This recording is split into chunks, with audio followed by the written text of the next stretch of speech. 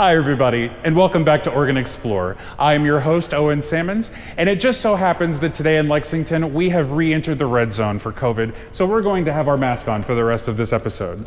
Today, I am visiting First Presbyterian Church in the heart of downtown Lexington, and my special guest is the organist here, Tina Wagoner.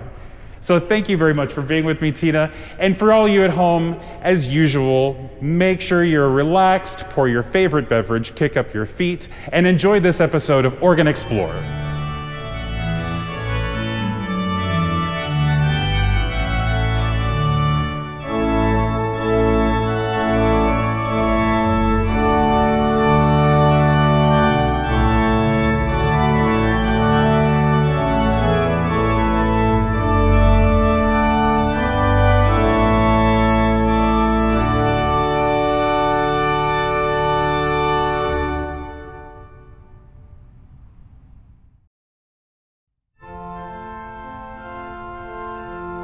The First Presbyterian Church of Lexington, Kentucky faces Mill Street with a sprawling campus tucked into the downtown area. Within these walls resides a marvel of early American organ building, an 1897 Kimball organ known for their glorious singing diapasons, thrilling reed choruses, and distinctive orchestral colors, fully rebuilt by the Buzard firm in 2007. The current instrument retains 25 of the original Kimball stops, ensuring the Kimball sound stayed intact. These stops were supplemented with 11 ranks of new pipework by the Buzard firm. There is an article linked in the description that gives quite a comprehensive account of the work completed. The result is exciting to say the least. The acoustic of the room was also improved at the time, which marries beautifully with this expressive instrument. I had the joy of meeting with Tina Wagoner, organist at First Presbyterian, to chat about this magnificent instrument.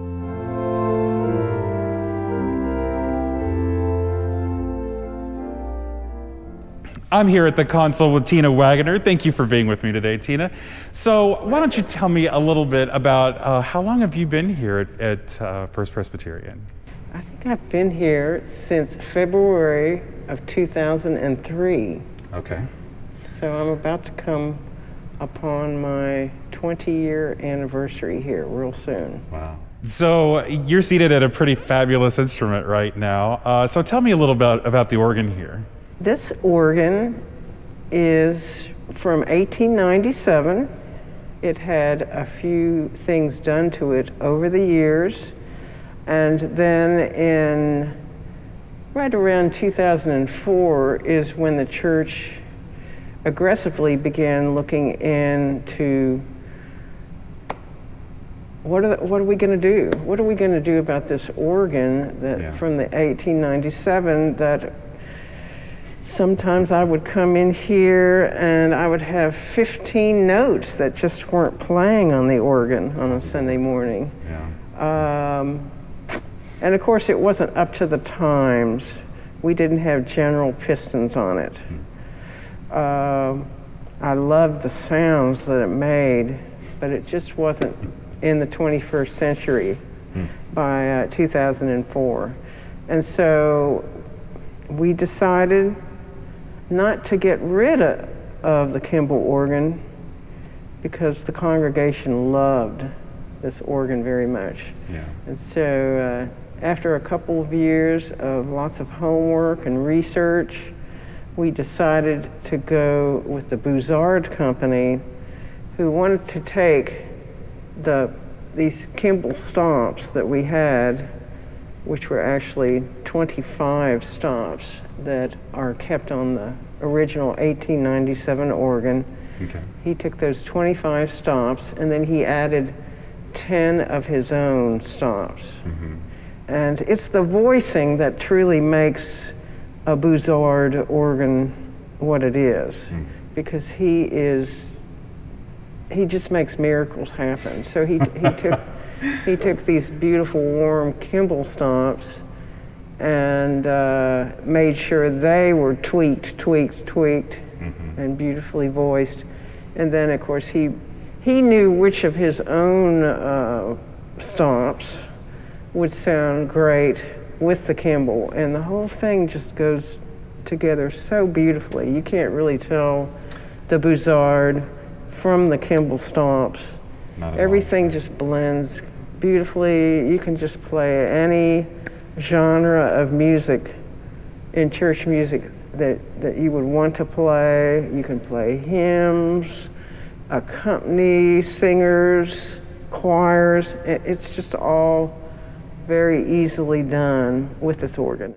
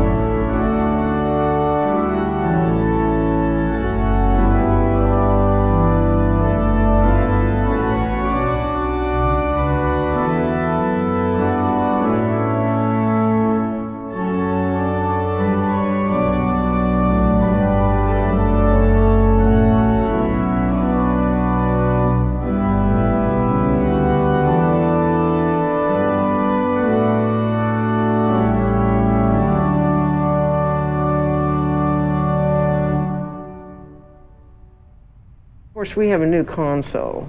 Yes. So, so the console is brand new. This is the antiphonal, and uh, at the time, we didn't have enough money to have a whole new set of stops for the antiphonal division. Mm -hmm. But as you can see, Mr. Buzard has already figured out what stops he thinks we should have, and those stops will go in the balcony. Uh-huh. And why waste an entire keyboard? Of course. So, what Mr. Buzard did is he made it so that I could bring the great down to the antiphonal, I could bring the swell down to the antiphonal, and then he also has black stops and red stops on the great. So I can actually uh, couple down to the antiphonal three different uh, levels of stops. I can mm-hmm. uh, couple just these black stops that you see here from the mm-hmm. I can couple just the red stops from the great, and I can couple the swell. Well, and I would say the the really neat thing about the way that they have structured the great division with the red and the black labeled stops is that it in effect gives you two or uh, divides the great division into two divisions that that are married beautifully together. Um, and so it has to be mentioned that that also carries down into the expression. So Mm-hmm. how, how is that separated? Is it is red on on the pedal, or how, how does that work? So the red that you see on the great is completely under expression. Okay. And you know, we we even have this big tromba stop. That's that's under expression. So even though it's a really loud reed that mm-hmm. Mr. Buzard put in there, I can shut that down. Yeah. So I, I can make it much softer. So only the red of the great is under expression, and then all of the swell is also under expression. Hmm. So this is the swell expression pedal right here in the Okay. middle, and then this one is the great Fantastic. expression. Then this is the crescendo pedal.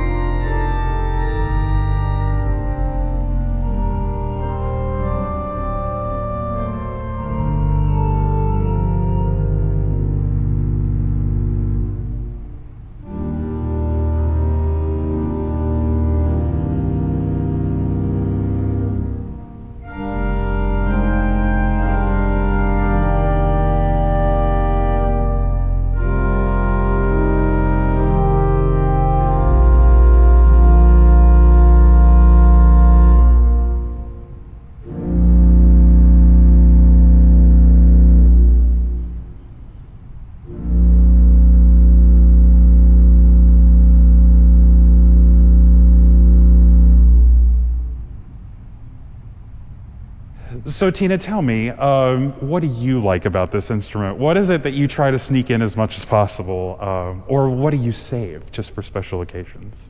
I guess one of my favorite stops on this organ is the oboe. I just think it has a gorgeous oboe.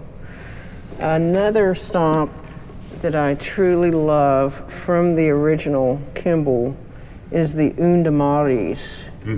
And uh, so when you put that with the dulcimer, it's just, it's just a beautiful, beautiful sound.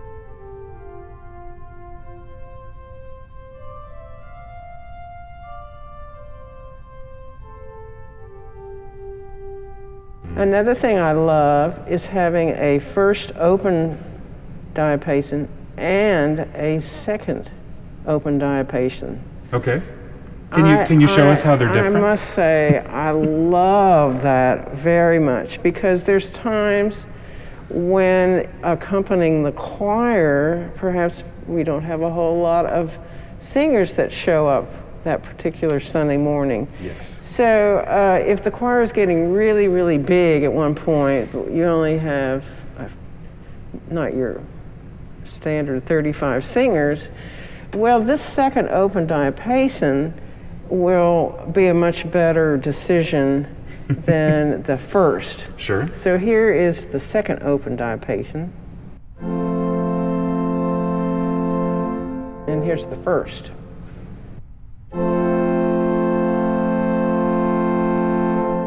So you, you can see there's a big difference in uh, volume between the two. So you hear them I find I'm I- just curious. Sure, together it's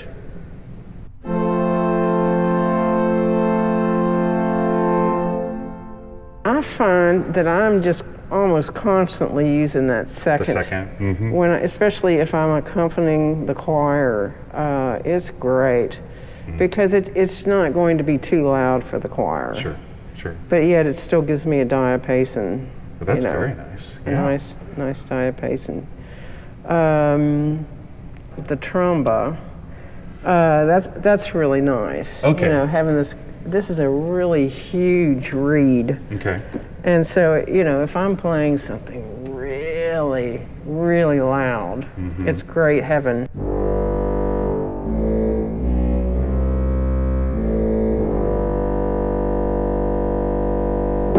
Expression, so Oh, it is. Oh, that's great. see? I just put it under expression. I just closed the box. Oh, that's nice. And then it's, you have a 12, 8, and 4 reed in the pedal. It's nice to have them at. Is it the same uh, rank, just at, Mm-hmm. at different octaves? Yeah. That's really nice to have. And then it's it's nice to have a double open diapason 16. Yes. So is that what's what's in front of us here? It might be. it might be. Let's see. Let's see if we can figure it out. Oh yes.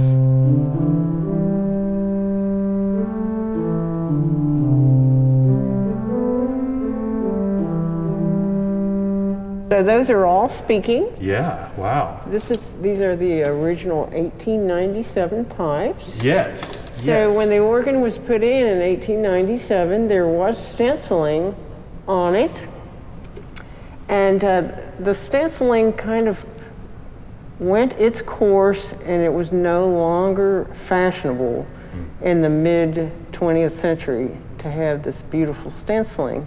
And so at the time, the church, perhaps this church had just had the, the walls painted, and they thought, well, the stenciling doesn't go with the paint. Let's just take the same paint and just paint over this facade of pipes. But somewhere along the way, some historian had found an old photograph of this organ that showed the original stenciling on there. So we knew underneath the pipes mm-hmm. Was the stenciling. And so when the pipes were taken out of here in 2006 to the Bouza- Organ Company, mm-hmm. they were told that the stenciling was underneath the paint. Wow. And so they were able to figure out the pattern uh-huh. that was on the pipes. I it see. was kind of like a shadowing. They could, it was, the shadow of the original pattern was still on the pipe. So when hmm. they took the paint off, they could figure out the pattern. And then that pattern was sent to a wonderful artist. I believe she's down in North Carolina. She was given uh, the design, and uh, it took her quite a while to get to get these painted. I see. It's uh, it's on the story I was telling you Okay, uh, from the from diapason, diapason. okay. It tells you how long, because she's written her own little article About this. about Wow. uh, painting these pipes. And the gold leaf. I, Yeah, that's 24 karat gold leaf up there. So hopefully it'll never go out of fashion because uh, the first time I saw these pipes in 2007, I just thought, spectacular! It's just spectacular! It is spectacular. Especially if you're coming up the center stairs right. and you come and you just see those pipes and they're just amazing. Yeah. It is really lovely. Just amazing.